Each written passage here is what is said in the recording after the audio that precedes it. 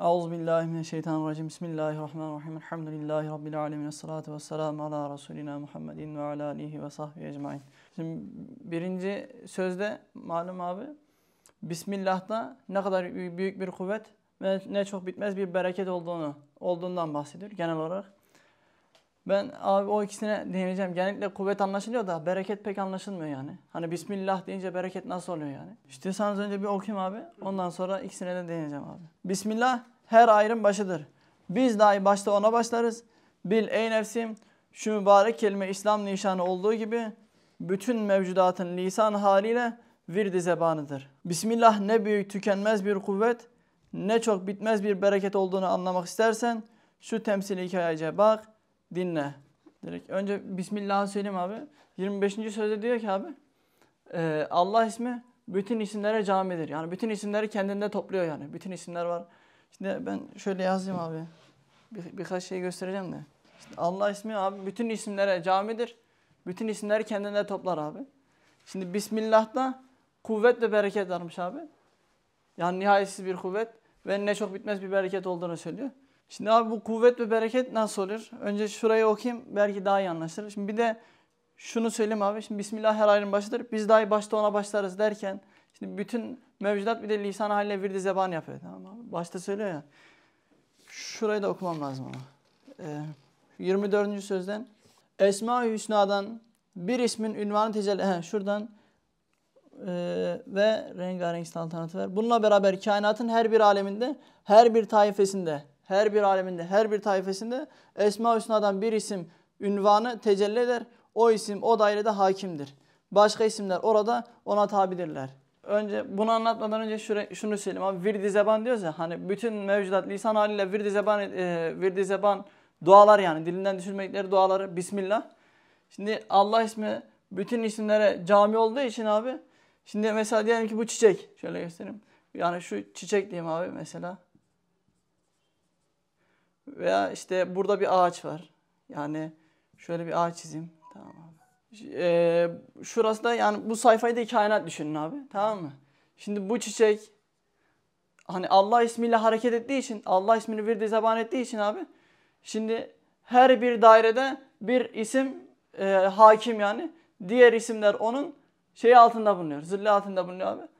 Şimdi bu çiçek Allah ismiyle hareket ettiği için bütün dairelerde bulunan isimleri kendine musahhar ediyor yani abi. Yani bütün kainat dairesinde bulunan hangi mesela ağaçta hangi isim şeyse yani çünkü bunun hayatta kalabilmesi için, inkişaf edebilmesi için bütün kainatta hani zaten bir e, şeyin bir vücudun içerisine hayat girdiği zaman onu bütün kainatla bağlıyor. Bütün kainatla rapt ettiği için abi bunun hayat sayfasında inkişaf edebilmesi için bütün kainatla olan bağlantısını bir anda yapabilmesi lazım.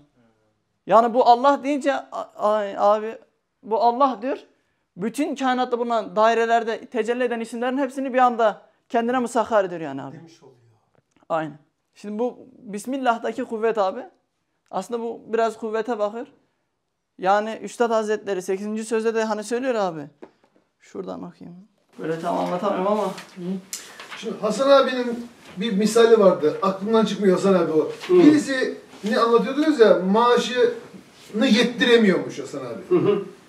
Ee, İmam Azam iş yapmış. ha, nasıldı abi o? İmam Azam'a gelmişler. Ama çok acayip bir sistemden bahsediyor, onu anlatıyor ama. Evet. Ya misal basit gibi ama başka bir şeyi anlatıyor. Demiş ki sen demiş buranın e, şeysin, müteberrisin, kanaat önderisin. Bu işvereni de yani şimdi tabii patronu tanıyorsun. E, İmam Azam'a söyle de patron benim maaşımı çoğaltsın. Geçinemiyorum demiş. Ondan sonra o bu- bunu bekliyor. Demiş ki git patrona de ki benim maaşımı şu kadar azalt. Demiş ki o da efendim yanlış anladınız galiba. Bana yetmiyor çoğaltmasını söyledim. Tamam anladım. Anladım. Git patrona de ki benim için söyle maaşım şu kadar azaltsın. Sen bunu uygulama ha Muhammed. Sen uygulama ya. Sonra gidiyor söylüyor. Adam şaşırıyor. İmam Azam Numan bin Sabit ya. O söyledi deyince adam şaşırıyor. Daha biraz daha kötü oluyor gibi. Geliyor isyan ediyor. Yani insan var ya. Efendim yaptım ama daha kötü oldum demiş. Gitti ki ya onun da biraz daha indirsin. O zaman ne mi itimat var ya? Tam gidiyor söyle evet. Ya neredeyse üçte ikisi kalıyor elinde. Ve sonra geliyor diyor ki Allah razı olsun. Yetiyor dedi. işte. Sebebi niye maliyet şey geliri gidene yetmiyor? Allah aslında getirir. Çünkü hak etmediği şeyi aldığı için ona bereket olmuyor, Evet. yetmez. Evet. Yetmez, haram olduğu için. Mesela Mehmet birisini çalıştırıyor. Adam alıyor 7-8 bin lira. Tamam, yetmez. Aslında vallahi 10 defa yeter de yetmemesinin sebebi hak etmediği parayı alıyor. Çalışmıyor. O onun zamanını çalıyor. Satıyor 8 saati. Ben ömrümü sana 8 saat satıyorum. Ver 8 bin lira. Ama gidiyor telefon oynuyor. Yapmıyor. Haram karışıyor. Evet. Yani buradaki bereketi de bununla ilişkilendirerek biraz anlamamız lazım belki diyelim. Onun için söyledim. Abi berekete de şöyle deneyeceğim. Mesela abi şimdi çekirdeği düşünelim abi. Çekirdek bir tane, ağaç bir tane, tekessür ettiği meyveler abi nihayetsiz yani abi.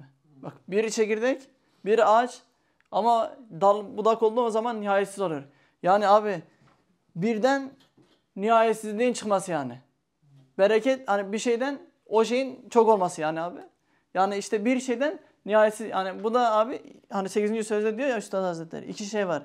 Bir tekten bir tek şeyden her şey yapmak. Her şeyi bir tek şey yapmak. Şimdi her şeyi bir tek şeyin yardımına gö- göndermesi kuvvet. Bir tek şeyden her şeyi yapması da abi o da berekete giriyor yani. Her şeyin Evet. Bir şeyden her şeyi yapmak bereket, her şeyi bir şey yapmak kuvvet. Ama keşke yazsaydım. Bunu yazalım abi. O çok güzel. Bir de söyle bir de. Ee, kudret-i samadaniyenin sikkesine ve rububiyet ilahiyen hatemine Osman keşke yazsa bunu. Ve saltanat-ı uluhiyetin turrasına işarettir. Çünkü bir tek şeyden her şeyi yapmak zaten yani diye açıklıyor. Ve bir şeyi yani her şeyi bir tek şey yapmak. Şimdi abi bir tek şeyden her şeyi yapmak bereket. Her şeyi bir tek şey yapmak da kuvvet yani abi. Her şey bir şey yap. Aynen. Kuvvet. Aynen abi.